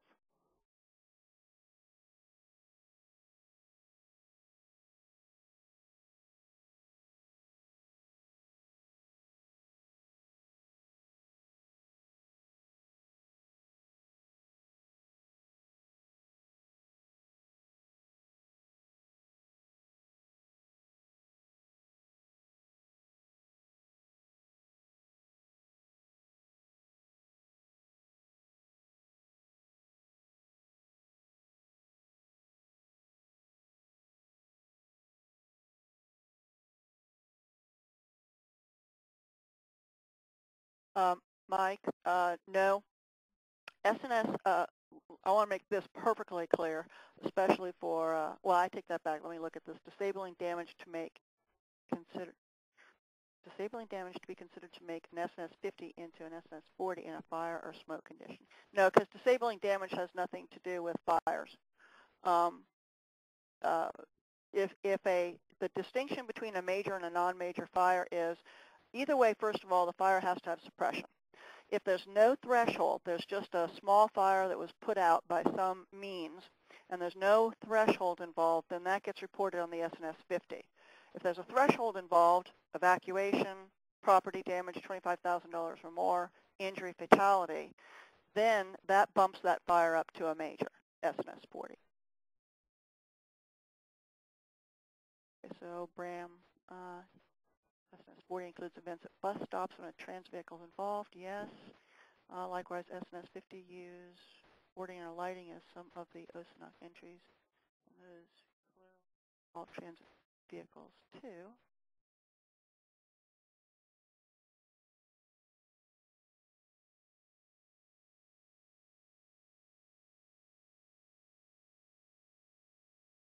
Come back to Bram's. Looks like he's still typing. Passenger vehicle.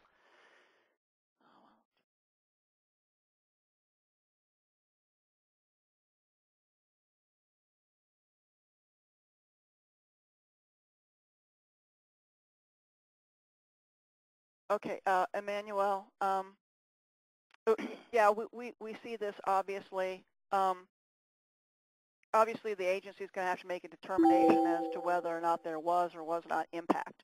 Uh, vehicle cameras are always helpful in that scenario, damage to the vehicle, um, whatever the case may be.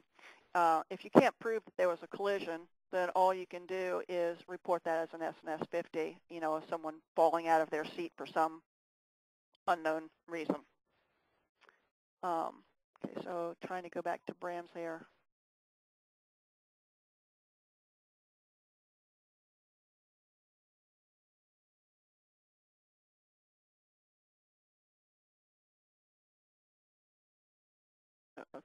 okay, I think I think I get where you're going, uh, Bram. Um, the boarding and alighting um, caveat that we added there is so that agencies would not have to report events that occur on bus stops that are not on transit-owned property. So I'm just talking about city street bus stops.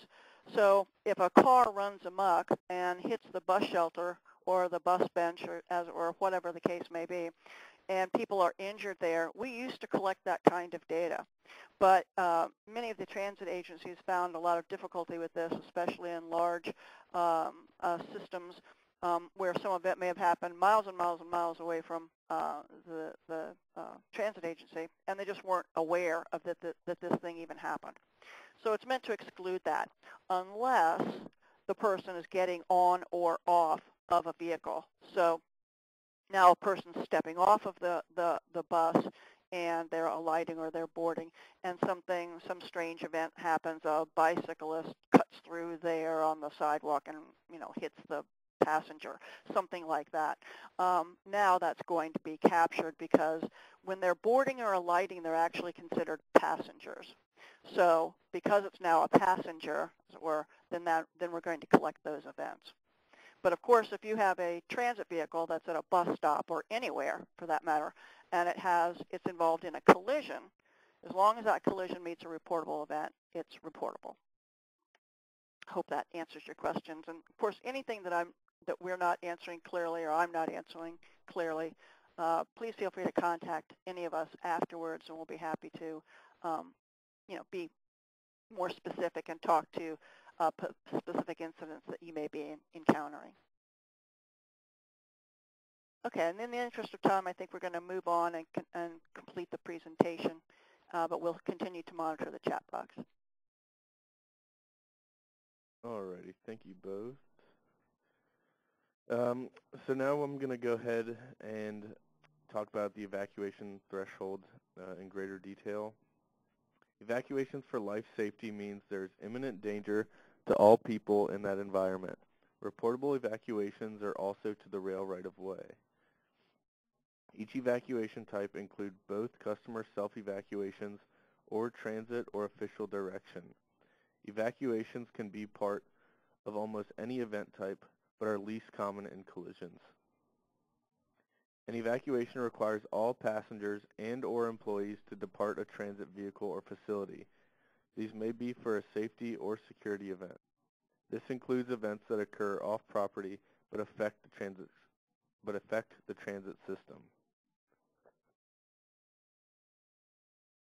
For example, a gas leak or fire on adjacent property that caused the RTA to evacuate a nearby station. Evacuations are not uh, if a person is removed from vehicle for medical treatment, removing passengers off a vehicle due to a collision, removing passengers from vehicle to sidewalk due to mechanical breakdown.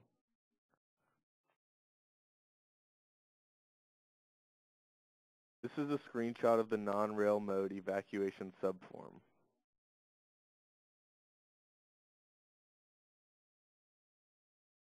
The first question on the evacuation event screen is to confirm that the evacuation was for life safety or potentially unsafe conditions.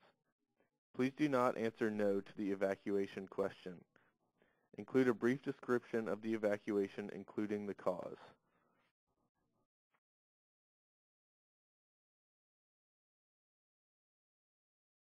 The what was evacuated question is used to indicate what was actually evacuated.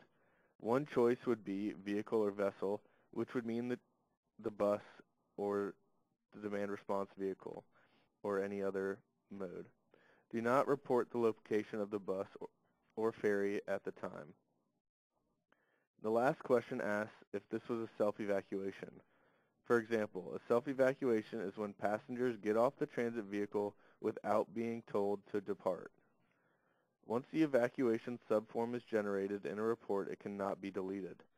So if an evacuation is incorrectly included, the entire report would need to be deleted and a new report entered without the evacuation. Similarly, you cannot add an evacuation subform to a report. Reporting, oh, excuse me, reporting fires on the S&S 40 that meet one or more major event thresholds. To be defined as a fire, the incident must have had fire suppression equipment or personnel involved to contain the fire and must meet a major event threshold. Without these thresholds, a fire requiring supp suppression is reported on the S&S 50 non-major summary report. Arson is reported on screen 1 as a system security event, not a fire. The presence of smoke with no fire and no suppression is reported as an other safety event.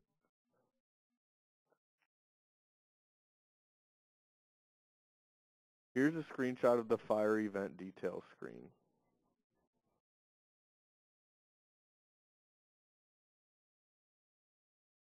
If the fire is in or on the rail vehicle, including in the engine, wheel area, or anywhere on the outside, this would be reported as in or on vehicle. Report the type or cause of the fire. For the fuel type selection, if you chose the location of the fire as in or on vehicle, then you would report the fuel type of the vehicle.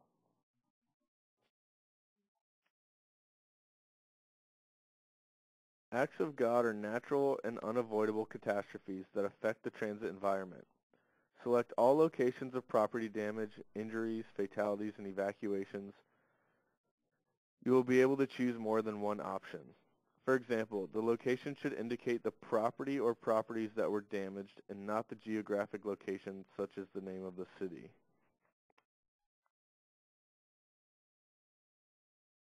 This is a screenshot of the Act of God screen.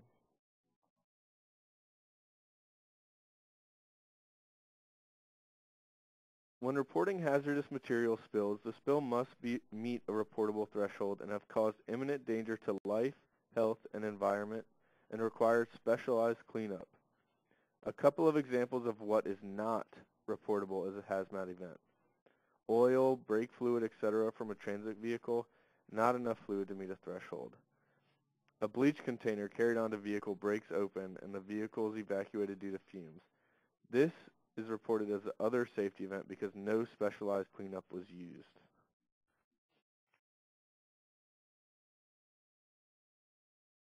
This is a screen of the hazardous material spill screen. You see the you see the report, the location of the spill, and the type of material spilled.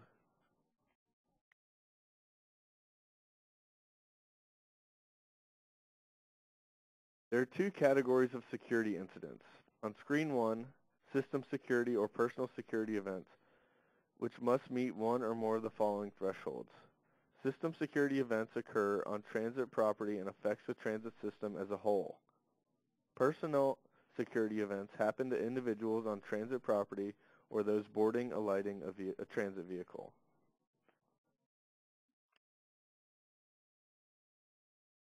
This is a screenshot of the System Security Event screen. You may notice that there is an Other System Security Event option on this form. This would be to capture security events that do not meet any other category. For example, shots fired at or objects thrown at a vehicle.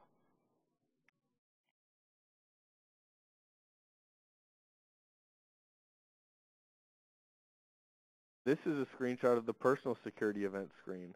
You will notice that there's an other personal security event option on this form as well.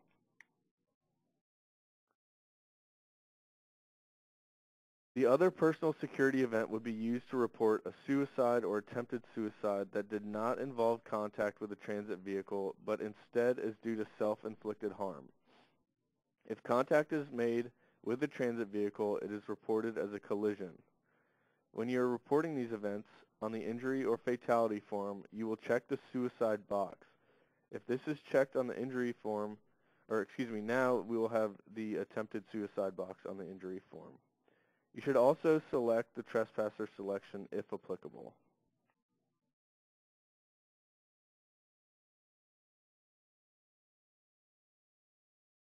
The final major event type is other safety events. This is your miscellaneous category. These events must meet one of the following thresholds.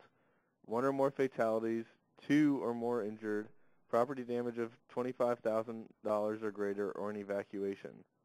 Please note you may report an other safety event with one injury if another threshold is met.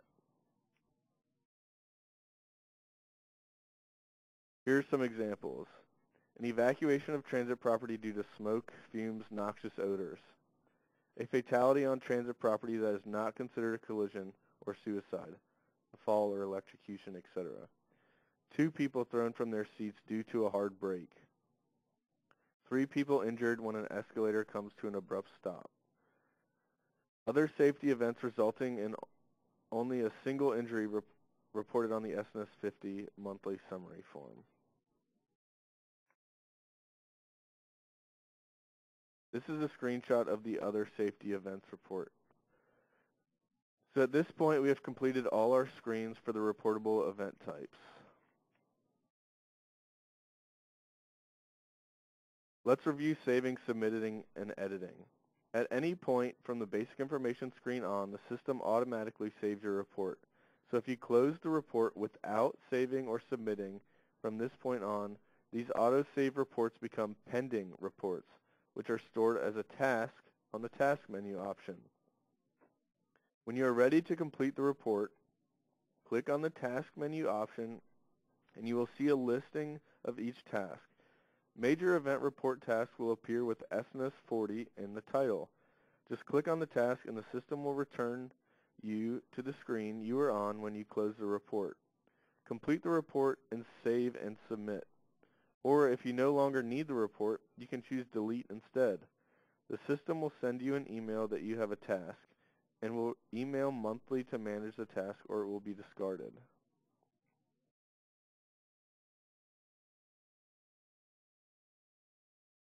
Save and submit options appear when you are in view form mode. If you do not see a save or submit button, click on the view form button and scroll to the bottom. Once you click on save, the report is saved and it is given an event number at the top of the report. The report stays open so you may review it. When you submit a report, the report will close the report and return you to the dashboard. Submitting the report releases the report to the validation analyst for review and comment. It also notifies the analyst that a report has been created, otherwise we may never know one has been created. If we see an unsubmitted report and it is past the due date, uh, we will contact you to submit the report. Please note that unsubmitted reports are excluded from the event, injury and fatality counts in the S&S 20 CEO certification form. Analysts may return a report to you for questions or to make corrections. The system will send the last modified user one email for each report that is returned. After you make corrections, be sure to save and submit.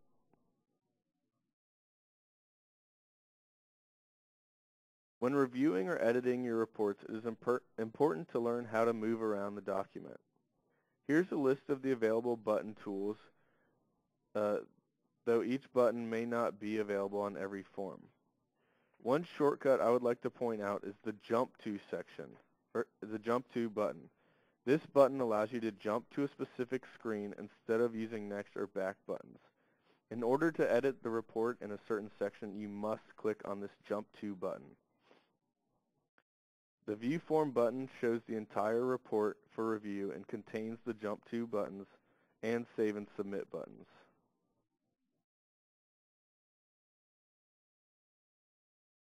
When you open the report, the first screen is the Setup Summary view. This screen is the only place you can edit the date of the event. Also, if your report does not include any injuries or fatalities, this screen is the only place where you can add them. Then you would click on Next, which displays your report in view form mode. At this point, you can continue to use Next to go to each screen, or you can click on one of the Jump To section buttons. This is also enables the editing mode. As a reminder, Save and Submit only appear in view form mode.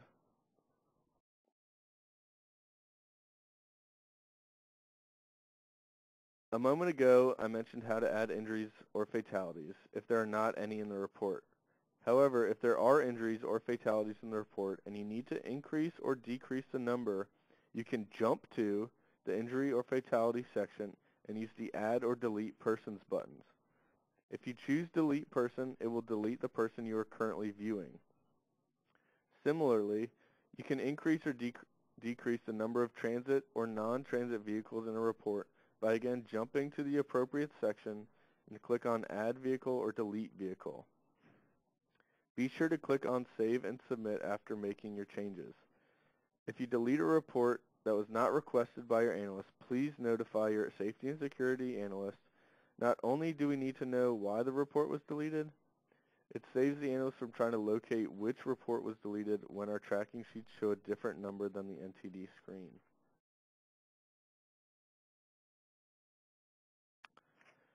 Uh, that concludes the presentation, uh, and we will answer any questions in the chat box. Um, if you don't get a chance, please feel free to call us or send us an email, and we uh, will be sure to clarify any questions for you.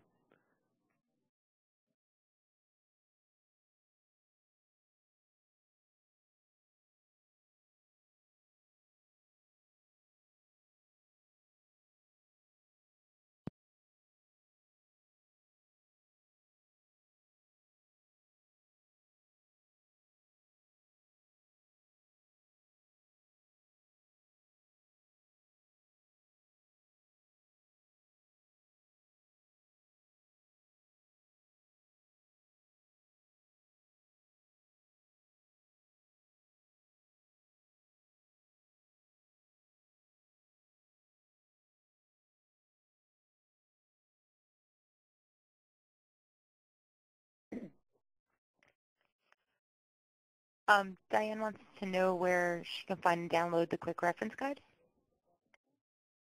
Uh, currently, the quick reference guide is not posted on the website. So uh, at this point, you would need to contact one of us, and we'll be happy to send the, uh, the 2018 reporting guides. Please let us know which modes you report for, because there are separate, separate guides for non-rail and rail reporting since the thresholds are different.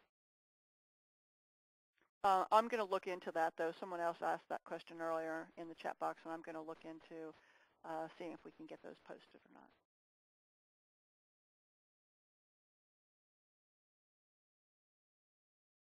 Okay, last chance for questions in the chat box.